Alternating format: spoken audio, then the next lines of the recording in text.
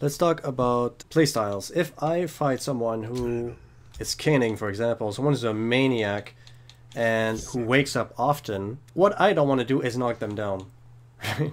Because if I have an ender that knocks them down, for example, then it's hard to meaty.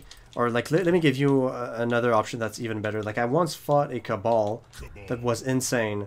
The dude would wake up, up three, or he would jump, right? Because when he do he did up three wake ups, then I would I'd be I'd be scared. I didn't want to meet him because he would just wake up in my face, so I'd stand back. And then now when he conditioned me to stand back, he would just wake up, jump, and then he was in the air. That's actually a pretty smart, crazy type of strategy.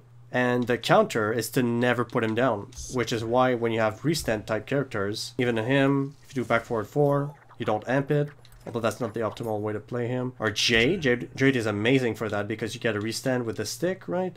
Back forward two, and they keep them close, plus eight. So that's when you have to bring out these types of characters that contain the enemy when the enemy is insane. Because an insane enemy is usually not going to uh, block.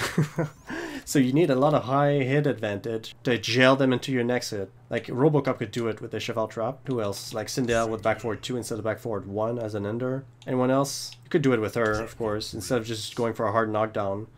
After you do the uh, Bionic Bounce Enhanced Air Blast, you just finish with forward 1 2 or something like that, I don't know. But there are options to tame the Maniacs, and usually those options is with restands. That's it, guys. Peace.